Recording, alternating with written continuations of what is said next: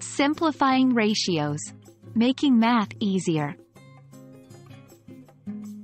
Hello, dear learners.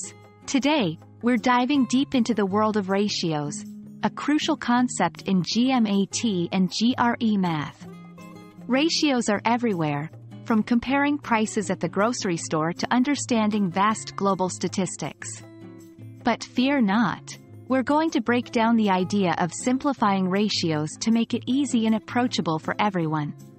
Let's get started. A ratio is a comparison of two quantities. Think of it as a fraction, where one number is compared to another. For instance, if you have two apples and three bananas, the ratio of apples to bananas is 2 to 3.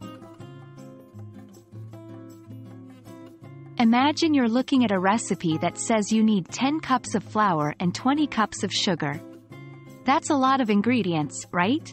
But the ratio is actually 1 to 2, a simpler way to understand the relationship. Simplifying ratios helps in 1. Understanding the relationship better. 2. Saving time during tests. 3. Reducing mistakes, as working with smaller numbers is generally easier. 1. Identify the ratio. Find out what two quantities you're comparing. Could be anything.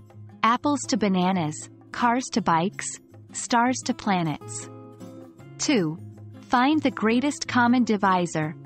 GCD. This is the largest number that can divide both parts of your ratio without any remainder. For 10 and 20, the GCD is 10. 3. Divide both numbers by the GCD.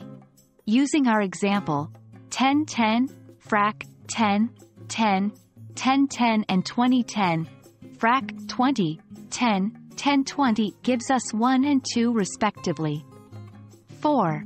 Write the simplified ratio. You've got your numbers, and now you just write them down in the ratio format. For our example, it's 1 to 2. Let's try another example. Suppose you have a ratio of 1624. 1. The GCD of 16 and 24 is 8. 2. Dividing both by 8, we get 2 and 3 respectively.